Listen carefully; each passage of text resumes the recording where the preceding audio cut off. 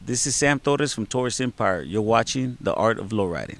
Hoppo's Custom Suspension Works has been in the automotive customizing business for over 20 years. The owner Art has owned and built many custom cars and award-winning hoppers, and has become a respected fabricator and installer in the customizing community. Hoppo's has grown into a full fabrication shop with a crew of highly skilled installers, including a full machine shop making custom suspension parts all in-house. From mild to wild, if you can think it, Hoppo's can make your custom suspension dreams come true. With a fully stocked warehouse of parts for hydraulic or air adjustable suspensions, frame modifications, wheels and tires, and even one-off billet parts, Hoppo's has you covered. So if you're looking for an innovative custom suspension company, visit Hoppo's Suspension Works at their new location or online at www.hopposonline.com.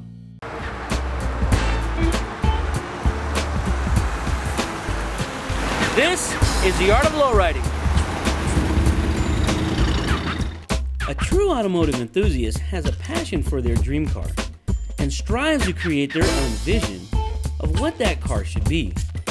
With each vehicle owner being the artist and their car is a canvas, creating automotive art and their dream ride.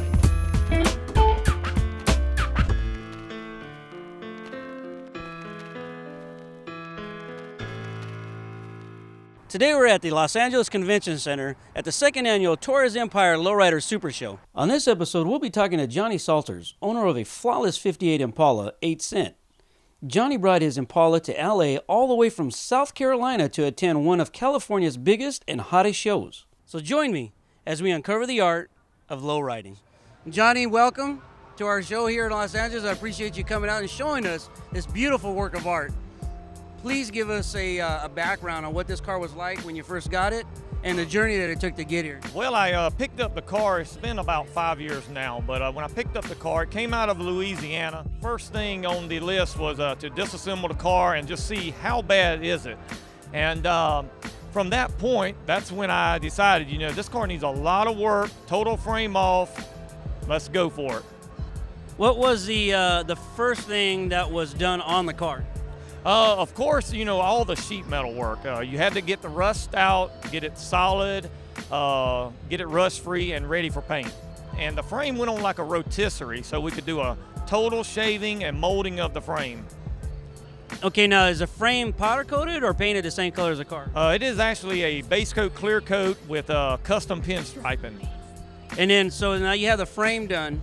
Uh, do, you, do, you, start building the chassis, uh, the frame, uh, putting things together on there at that time? Uh, yes, the first steps, uh, once the uh, frame was painted, we started assembly, which was custom molded A-arms, custom rear end with lots of engraving. Rear end, what do you have it? It is a stock rear end, but it is shortened and it is engraved. Engine and tranny, what, what do you got on that? it's a crate 350 with a turbo 350 transmission. And uh, and the engine, I assume, and tranny are painted and chromed out the same. Uh, on this particular car, we decided not to leave anything untouched. Every nut bolt was chromed, engraved, polished. Uh, the transmission was even smoothed and painted and pinstriped. Everything is smooth. Uh, like I say, I left no seam untouched. I wanted everything to be as slick and smooth. I do my own paint work, so I wanted to really show off the work that we could do. You do this at your body shop. You have your own shop, body shop. Uh, I do. I own my own body shop slash restoration shop, and uh, we I, I, did all of this work myself. Out where I'm from, there's not a lot of talented guys that can do this kind of custom building. So of course, it was all on me. I had to do it. Did you put disc brakes all the way around? Yes, it's a four-wheel disc brake system with a 605 steering box. Okay, now, now you have the chassis. It's a rolling chassis, brakes, updated steering, engine and tranny iron, everything's chrome. The whole chassis is done. What do you do at that point? Well, at that point, once the frame was up and rolling, the engine built, everything sitting in one piece, uh, that's when it was time to move on to the body. Uh, which the same way as the transmission and all, we smoothed the floors, pinstriped the floors. Uh, I painted inside of the trunk of this car. A lot of guys miss the trunk area they know they're going to cover it up. Well, on this particular car, I didn't want to leave anything untouched. Everything is painted inside the trunk, even down to the steering column on this car was completely disassembled, painted and chromed on the inside where you can't even see it.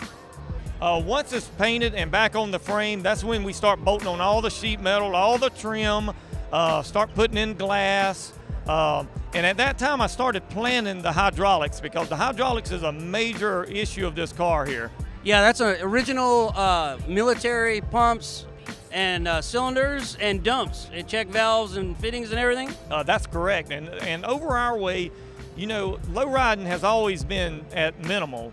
Out here, you know, is the heart of low riding, and, and I had to do a lot of calling on guys out this way just to try to guide me and to kind of send me in the right direction on what to purchase and what to do because back home there's no one to call home.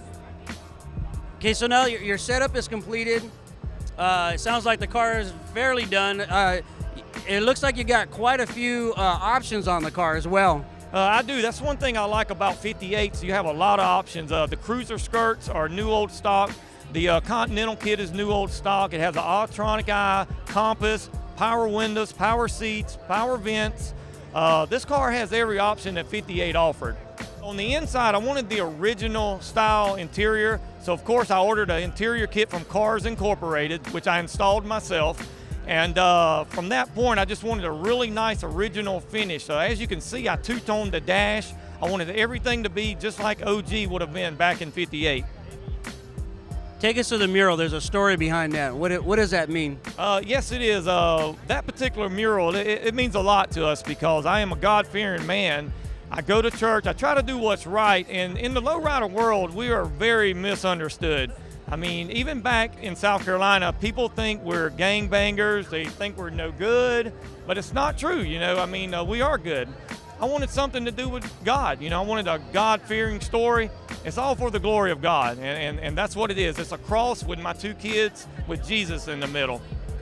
Hey, Jonny, uh, why don't you introduce us to uh, your wife and co owner of 8 Cent? Uh, this is my wife, Georgette. Uh, Georgette backs me 100% on every build that I do. And Georgette, it's a pleasure to meet you. What, what do you think about the way the car came out and what it took to build it? Well, it took a lot. I mean, time away from the family. I mean, but you know, there again, the family enjoys it. I mean, we enjoy coming to the shows, going to swap meets, finding parts, um, doing all that stuff together. Well, it's truly a family affair to build a car, right? It is. It is. It's an incredible story. I appreciate you sharing it with us. It was a blessing to, to meet you and to see your car. Thank you for bringing it out. Jonny's car is another perfect example of today's lowrider. Thank you for watching. I hope you enjoyed the show, and I look forward to seeing you next time as we uncover the art of lowriding. For over a year now, we have been submitting our shows to TV networks with no luck. They feel that lowriding is not a big enough market for television. Help us show them how big the lowriding community really is. Please like, subscribe, and share our videos with everyone you know. And like us on Facebook.